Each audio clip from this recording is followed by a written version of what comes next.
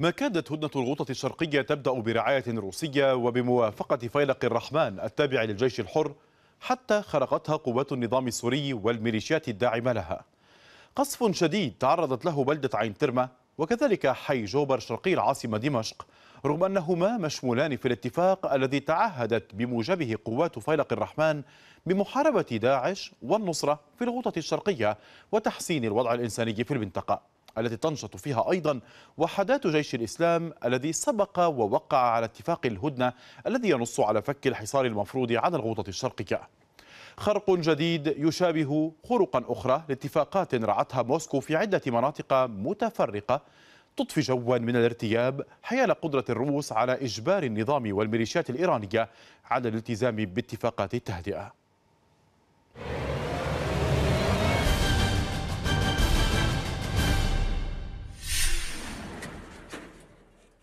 مجددا حي جوبر الدمشقي في مرمى نيران النظام السوري. فاتفاق وقف إطلاق النار في المنطقة وفك الحصار عن الغوطة الشرقية الموقع بين فصيل فيلق الرحمن وروسيا ولد ميتا بالأساس حسب المرصد السوري. ناشطون سوريون أفادوا بشن قوات النظام السوري هجوما صاروخيا على عدة مناطق في حي جوبر.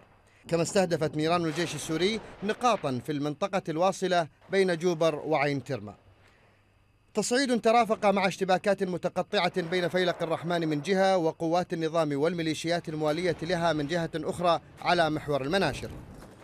يعزي مراقبون هذا التصعيد إلى أن سياسة الأرض المحروقة والقضم التدريجي التي يتبعها النظام هي سبيله لبلوغ اتفاقات يكون له فيها الكلمة العليا. بعد أن أطفأ بموجب الاتفاقات السابقة التي يطلق عليها تسويات معظم البؤر الساخنة في محيط دمشق. فهو لن يرضى حسب تقارير عدة باتفاقيات تعامله كند لفصائل المعارضة المسلحة خاصة في المناطق المتاخمة لحصنه الحصين دمشق والتي تدخل في إطار ما يسمى بسوريا المفيدة. وفي قراءات للمشهد تقدم قوات النظام على الأرض في جبهات عدة من بينها البادية السورية إضافة إلى السيطرة على حلب وقرب استعادة الريف الدمشقي ودخول محافظة دير الزور يجعل النظام مترددا في تقديم أي تنازلات.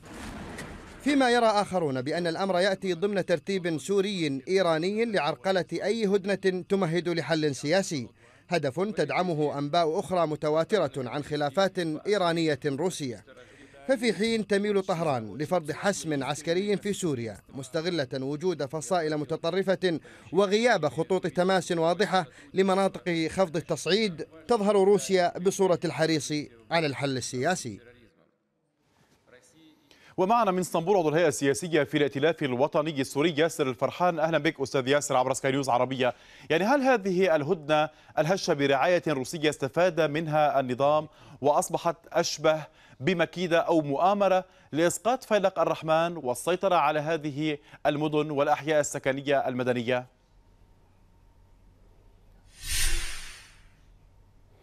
ما من شك بأن أكثر من فخ نصبه النظام وداعموه روسيا وإيران في هذه الهدن الموقع الموقعة في الغوطة في حمص وفي الجنوب.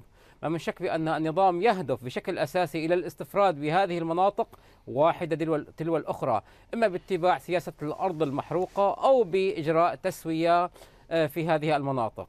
الاتفاقيات الجانبية هي خطر كبير على على الثورة السورية.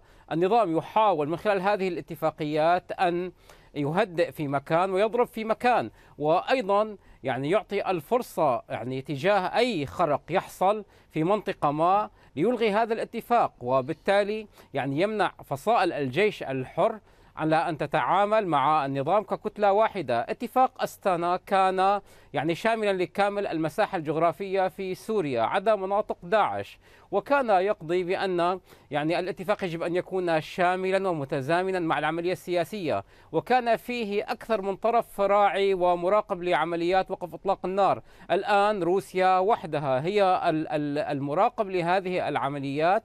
لوقف إطلاق النار أو التهدئة أو تخفيف التصعيد وهي وحدها الضامن وهي وحدها طيب. الراعي. وبالتالي يعني ضمن هذا أهم بنود هذا الاتفاق والاتفاقات السابقة أيضا. حتى مسار يعني كان جنيف. أيضا الجيش الحر في مواجهة داعش والنصرة وما حصل مع فيلق الرحمن هذه الهدنة كانت للاستفادة من فك الحصار على هذه المناطق ما يخضع له حي جوبر الدمشقي من هذا الحصار وهذا التجويع للأهالي. يعني كيف يمكن أن أن استفاد النظام من هذا الوقت المستقطع وانقض بغارات أعنف وبعمليات عسكرية أشد. هذا هو اسلوبه، النظام دائما يمهد قبل أي اتفاق بقصف وحشي وعنيف، يحاول أن يفرض الوقائع التي يريدها على طاولة المفاوضات من خلال يعني ضغط على الأرض، يستهدف بذلك المدنيون وبالتالي يذعن المفاوضون يذعن الثوار ويذعن السياسيون تحت ضغط مزيد من نزف السوري يقوم به النظام وتحت ضغط مزيد من الجرائم التي يرتكبها بحق المدنيون ولا أحد يوقفه عنها. يقبلوا يضطروا أن يقبلوا بهذه الشروط المجحفة. هذه اتفاقيات إذعان لن تدوم طويلا لأنها لا تحقق أي من مبادئ العدالة ولا أي من مبادئ الإنسانية وبالتالي على المجتمع الدولي أن يتدخل ليعيد المفاوضات إلى مسارها الحقيقي سياسيا في جنيف وعسكريا لوقف إطلاق النار في أستنا. أما هذا التفرد يوقع النظام الآن أو روسيا توقع الآن في منطقة تلو الأخرى قبل يعني أسابيع كان كنا يعني نشهد اتفاقا على مستوى الغوطة. الآن الاتفاق على مستوى أحياء في الغوطة. وثم وبعد ذلك سيتف سيحاول أن يفرضوا اتفاقيات على مستوى الحارات.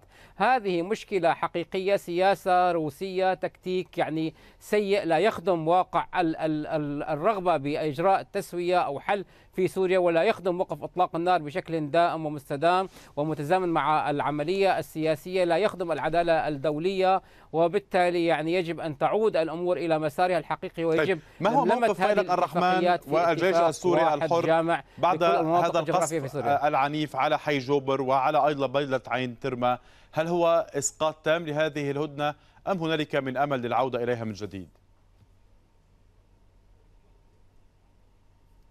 يعني حقيقة يعني الاتفاق يولد ميتا في أكثر من مرة النظام يخرق هذه الاتفاقيات وروسيا لا تلزمه اطلاقا ولا تتخذ أي إجراءات رادعة بحقه، وأيضا روسيا تخرق في أماكن أخرى هذه الاتفاقيات، نعرف نعرف تماما بأن اتفاق أنقرة الموقع في نهايات العام الماضي سجل في مجلس الأمن وصدر قرار ملزم مجلس الأمن بتبنيه وأيضا يعني بفرض وقف إطلاق النار بموجبه. وطالما هذه الاتفاقيات الآن يعني لا تتخذ الصفة الرسمية الدولية تبقى ضعيفة.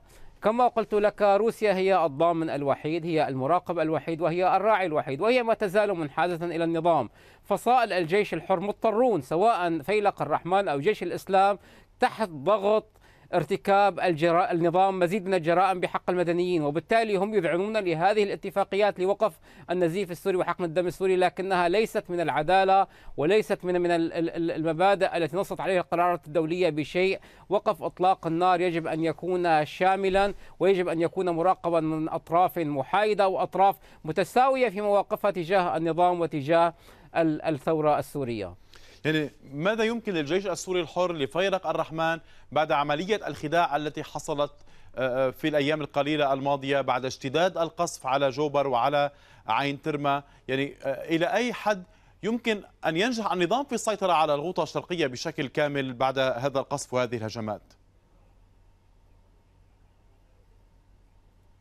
الأفضل لجيش الرحمن أن يعلن بأن الروسي لم يلتزم بما عليه كطرف ضامن وراعي لهذه الاتفاقية وأن يعود إلى مسار أستنا وأن يحاول أن يبحث عن ضامنين آه، آخرين دوليين. لهذا الاتفاق لا يترك روسيا تستفرد بمفردها بمصير ومصير أبناء المنطقة ولا يترك يعني آه، نفسه خاضع فقط لابتزاز دولة تزعم بأنها عظمى مثل روسيا. وبالتالي هو لا ظهر له. هم قد تخلوا يعني مع الأسف بعض الفصائل عن الدول الصديقة الصديقة التي يمكن أن تعلي صوتها بالمحافل الدولية سواء بالأمم المتحدة أو بمجلس حقوق الإنسان أو بمجلس الأمن وتطالب بتنفيذ إنفاذ هذه الاتفاقيات واتخاذ إجراءات رادعة بحق من يرتكب هذه الخروقات الآن هم وقعوا هذه الاتفاقية بمفردهم وهذا يعني أعتقد خلل سندفع جميعا ثمنا له. ما زال هناك وقت أقول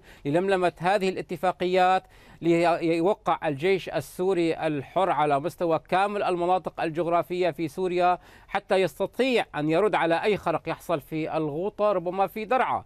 يستطيع أن يرد على خرق يحصل في حمص في حماة الآن كل اتفاق وحده له شروطه المختلفة عن الاتفاقيات الأخرى وبالتالي أصبحت يعني السياسة الروسية المتبعة هي فرق تسد اتفاق مصالحة هنا وتصعيد هناك وخروقات في مكان آخر. مزقوا مزقوا من خلال هذه الاتفاقيات الجيش الحر الذي كان يفاوض بوفد واحد في أستانا ويوافض أيضا الشعب السوري بوفد واحد في جنيف. الآن هذه التسويات المنفردة وهذه المصالحات يجب أن تعالج ويكفينا. يعني ما نشهده من خروقات لنفكر من جديد بإعلان إلغاء هذه الاتفاق هذه الاتفاقيات والمطالبة بجمعها في اتفاق واحد. وقف اطلاق النار هو هدف وأولوية للشعب السوري للمعارضة السورية للجيش الحر. لم يستخدم الجيش الحر النيران إلا للدفاع عن المدنيين وإذا ما تحقق وقف إطلاق النار تعود الثورة إلى سلميتها. عضو الهيئة السياسية في الائتلاف الوطني السوري ياسر الفرحان كنت معنا من إسطنبول. شكرا جزيلا لك.